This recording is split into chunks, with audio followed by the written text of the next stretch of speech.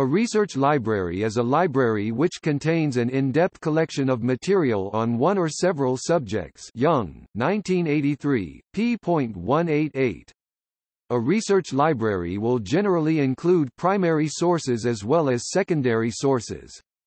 Large university libraries are considered research libraries, and often contain many specialized branch research libraries.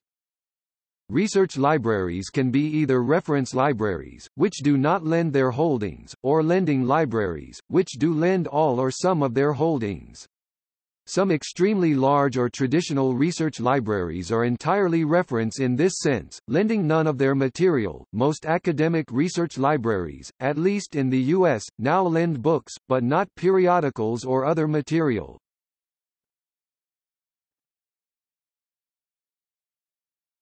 Topic. Gallery.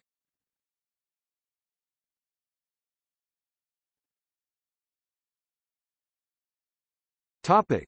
See also. Academic library. Trends in library usage. Research Libraries Group. JSTOR Topic Further reading Saunders, Wilfred Leonard 1968. University and Research Library Studies, Some Contributions from the University of Sheffield Postgraduate School of Librarianship and Information Science. Oxford, UK, Pergamon Press. ISBN 978080127,262. OCLC 441960, Young, Heartsill 1983. Ala Glossary of Library and Information Science. Chicago, Illinois, American Library Association. ISBN 0838903711.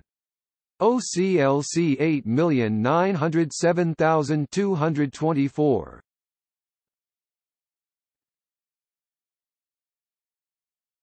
Topic: External links. Association of Research Libraries